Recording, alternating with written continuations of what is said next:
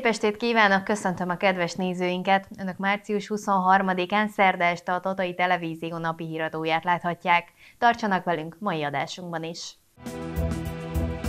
Mintegy 4 millió forint pénzadomány gyűlt össze a menekültek segítésére. Márciusi ülését tartotta a Tataváros Humán és Ügyrendi Bizottsága. Felújítás és üzleti terv is szerepelt a pénzügyi bizottság napirendjében. Tárgy és pénzadományokat is fogadtat a humanitárius szervezete. Az ukrajnai menekültek segítése érdekében már 250 szálláshely jött létre a városban, ahol jelenleg 81 fő tartózkodik. A helyi magánszemélyek, szervezetek, cégek számos módon próbálják segíteni a krízis helyzet résztvevőit. Tataváros önkormányzata a kezdetek óta támogatja a háború elől Ukrajnából menekülő állampolgárokat. Jelenleg 81 személy elhelyezéséről sikerült gondoskodni, de a közel 50 gyermek tanítatása is folyamatban van. A Tatai Közös Önkormányzati Hivatal munkatársai gyűjtést szerveztek, amely adományokat március 22-én adtak át a Szociális Alapellátó Intézményben. Szeretném nagyon megköszönni a kollégáimnak is a a gyűjtést. Az volt a kérés a Szociális Alapellátó Intézményünknek, hogy elsősorban tisztálkodás és tisztító szereket gyűjtsünk a hivatal munkatársai között. Köszönjük szépen az ő adományukat is, és mindenkinek nagyon köszönöm az adományát, aki eddig bárhova eljutatott bármit is, és kérjük is továbbra is, Mátai Szeretett Szolgálathoz, Vöröskereszthez, vagy ide a Szociális Alapellátó Intézményünkhöz, Karitás szervezethez is természetesen lehet vinni. Ezeket összesítjük, tudunk egymás gyűjtéséről, és így tudunk jó logisztikával tényleges segítséget nyújtani. Köszönöm szépen azoknak is, akik pénzbeli adományjal segítik a munkánkat. Eddig közel 3 millió forint gyűjt össze.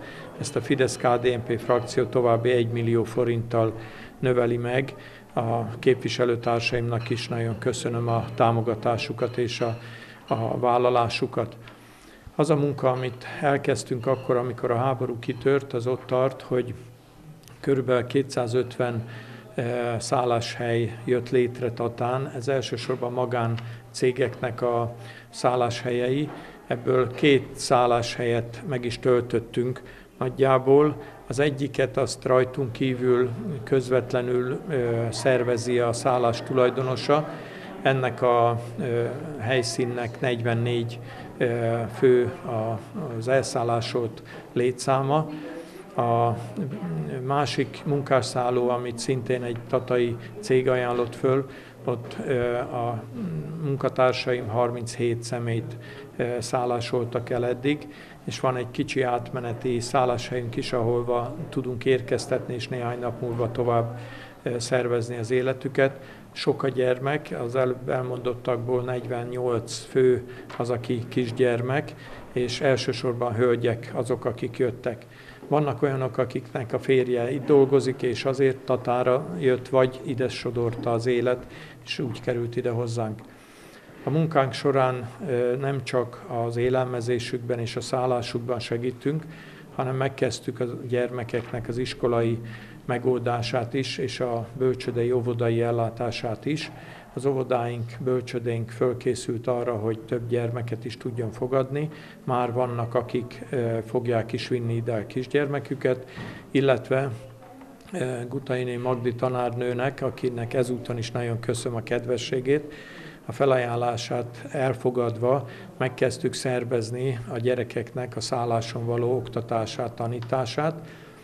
Vannak a menekültek között pedagógusok is, tehát őket is igyekszünk igénybe venni, és az a jó dolog van, hogy Kárpátalján még hála Istennek van arra lehetőség, hogy online folyik az ő oktatásuk, és ehhez nyújtunk technikai vagy szükséges, amilyen segítség szükséges, ilyen jellegű támogatást. Az a kérésünk mindenkihez, hogy mivel ezt a létszámot, ezt a 250 férőhelyet, ezt a kormányhivatalhoz továbbítottuk, és a kormány megbízott által vezetett védelmi csoport az, amelyik szervezi, és segítő csoport az, amelyik szervezi az ő elszállásolásukat, ezekre ők fognak kijelölni majd menekülteket valamikor, hogyha ez a helyzet előállna. de addig is mi, aki ide esik, vagy ide kerül, tatározokat természetesen befogadjuk és gondoskodunk róluk.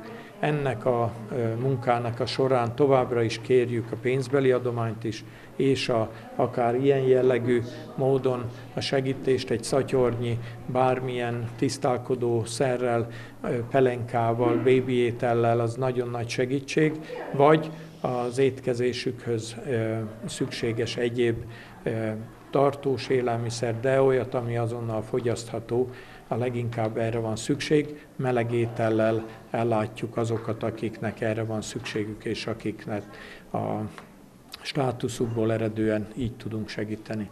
Úgyhogy nagyon köszönöm még egyszer mindenkinek a támogatását és a segítségét, ennek megfelelően folytatjuk a munkánkat.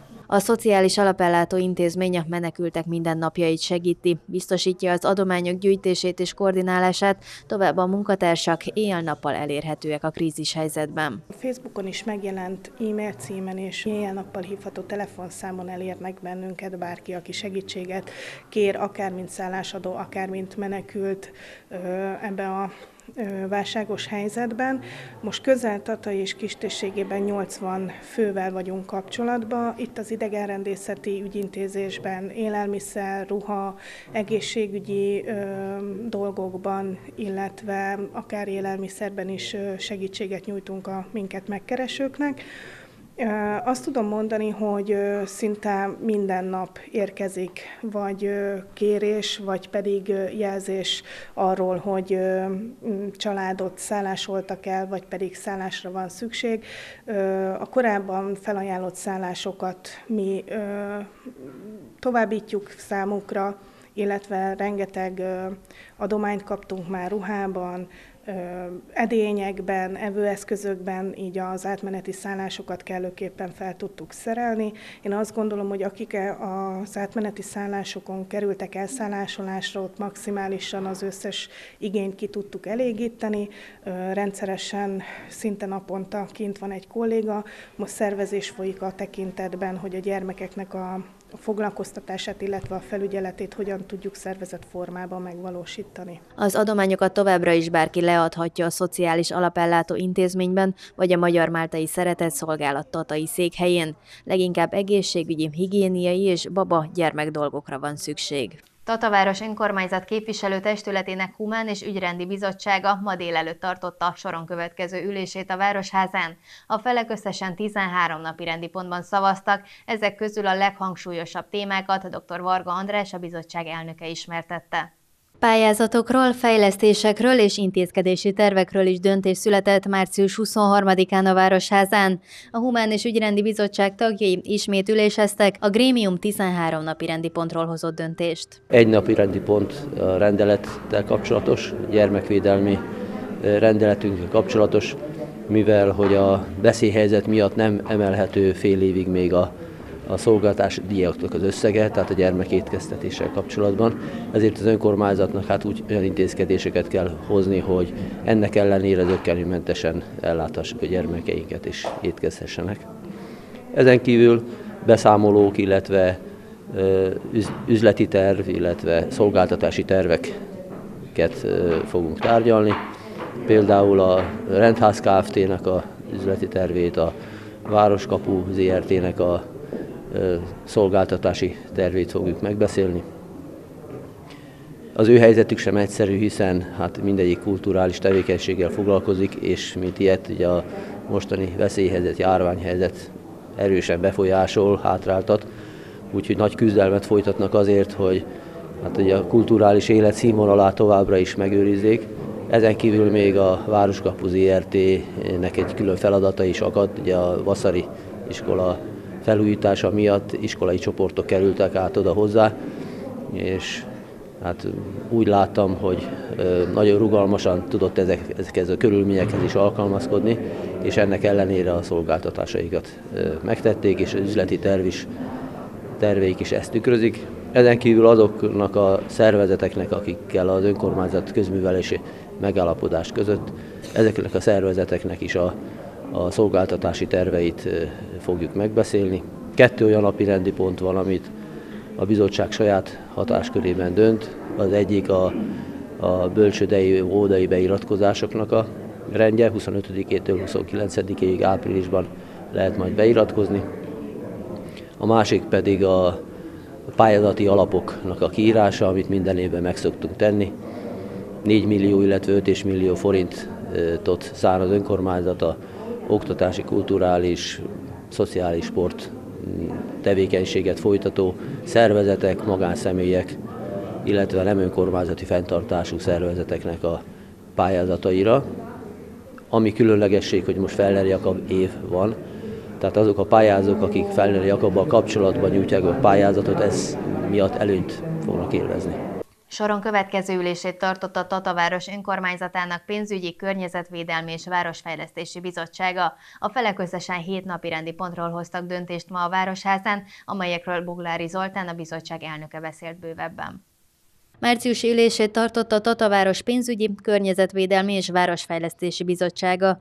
A tagok többek között döntést hoztak a Tatai Rendházról és a Városkapu közhasznú ZRT-ről, de a városképi épületek felújítása is téma volt. Aztán van a városképi jelentőségű épületek felújítási támogatás. Ez egy most már több éve kiírt pályázati lehetőség, és elég népszerű is a, ugye azok a homlokzatok, amelyek ugye a városnak a frekventált helyein vannak, magáningatlanok, de volt már arra is például egy városi ingatlan, tehát a városi cégeknek valamely ingatlanjának a felújítás, úgyhogy ez is most kiírásra kerül ismét, vagy pályázati felhívás formájában. A Tatai Rendháznak a üzleti terve van még terítéken, a Tatai Városkapu közhasznú ZRT-vel kapcsolatos döntés meghozatal itt a, a Fazekas utca, a Kőfaragó ház melletti ingatlanról van szó, amelyet ugye hiszem, hogy egy éve vagy másfél éve vásárolt meg az önkormányzat, és az kerül át a, a Városkapu közhasznú ZRT-nek a kezelésébe. Aztán a ötös napi rendi pont a Csillagsziget bölcsöde főzőkonyhájának fejlesztésével kapcsolatos döntés. Itt ö, létszámmal és ö, átcsoportosításokkal, elsősorban technikai ö, jellegű az előterjesztés, a hatos napi rendi pont forgalmi rend módosítására irányuló kezdeményezések, ez a alkotmány, illetve a, a Bajcsi utcai területeket érint, mindegyik egy-egy parkoló helyet. A Tópart utcai, ugye ott, ott látható, hogy nagyon megnőtt ugye a, a tópartnak a terhelése, sokan figyelmen kívül hagyják a, a tilos behajtani, tilos ugye kivéve engedéllyel táblát, illetve egy természetvédelmi területről is van szó, úgyhogy most ott a partszakasz rendbetétele is elkezdődött, és ehhez kapcsolatban most már a, sem az ott lakók nem állhatnak meg, ugye ők behajthatnak továbbra is, viszont a záró kirakodást is az Alkotmány utcába visszük ki, hogy a, ezek a nagy ö, autók sem menjenek be, egyedül a Dottónak a megállóhelye az maradott. A Bajcs utcai parkolónál szintén ö, árukirakadással kapcsolatos. Illetve a hetes a környezetvédelmi alap felhasználási terve, ez 5 millió forint értékbe kerül most itt a előterjesztésbe. Elsősorban, ahogy itt látjuk, egy, ilyen, egy olyan intézkedés, illetve olyan lehetőség fog pályázati kiírás formájába lenni, hogy nagy esővíztározó tartályokra pályázhatnak a, mint egy kb. 100 magánszemély, illetve városi intézmények. Az április 3-án megrendezésre kerülő országgyűlési választás és országos népszavazás zavartalan lebonyolítása érdekében a kormányablakok, így a tatai kormányablak is április 2-án és 3-án ügyeleti nyitvatartási időben tartanak nyitva annak érdekében, hogy biztosítsák az ügyfelek részére a választási jog gyakorlásához kapcsolódó ügyeik zöggenőmentes intézését. Az ügyfélfogadás április 2-án reggel 8 órától este 6 óráig, április 3-án pedig reggel 7 órától délután 5 óráig tart. Március 24-én este fél hattól ad jótékonysági koncertet Hegedűs Endre Kossuth Liszt és Cifradíjas zongoraművésza volt piarista rendházban. A szervezők a koncert teljes bevételével a Magyar Máltai Szeretett Szolgálat céljait támogatják az Ukrajnából a háború elől menekültek megsegítésében. A programban közreműködik Hegedűs Katalin zongoraművész. A hangversenyről bővebben tájékozódni a kommunikáció kukac tatairendház.hu e-mail címen lehet, ahol regisztrációra is lehetőség nyílik.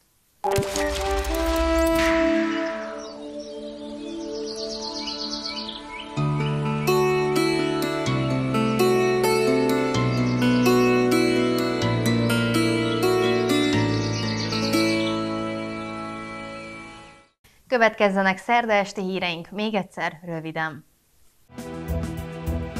Mintegy 4 millió forint pénzadomány gyűlt össze a menekültek segítésére. Márciusi ülését tartotta a Tataváros Humán és Ügyrendi Bizottsága. Felújítás és üzleti terv is szerepelt a pénzügyi bizottság napirendjében. Munkatársaim nevében is köszönöm a megtisztelő figyelmüket. Önök március 23-án szerda este a Tatai Televízió napi híradóját láthatták.